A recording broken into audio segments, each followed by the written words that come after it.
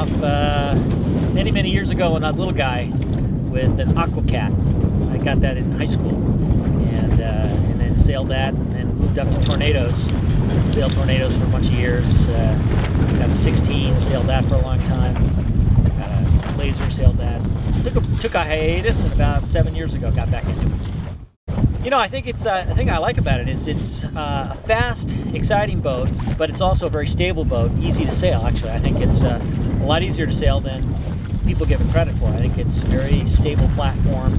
People think of the thing as flipping all the time, and they think of that as being oh, it's such a hard boat, it's so unstable it flips. But in fact, you know, you try doing trying to try a jibe in a laser in 25 knots of wind, and uh, you'll you'll appreciate the Tigers and the uh, and the F-18s and the Wildcats and the Capricorns and all those.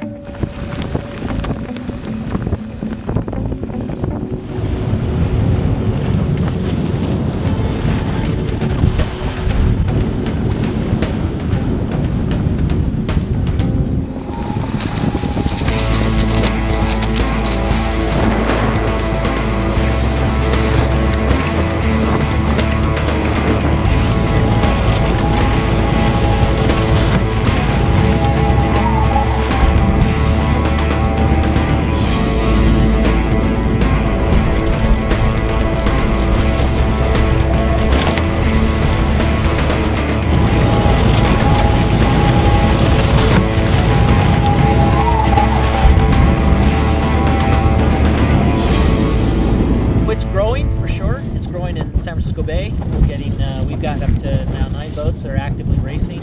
Uh, we had 20 boats in the NOODs, the largest group, San Francisco NOODs, in June last year, the largest group uh, uh, fleet in the entire um, NOOD regatta. I think it's going to go a long way.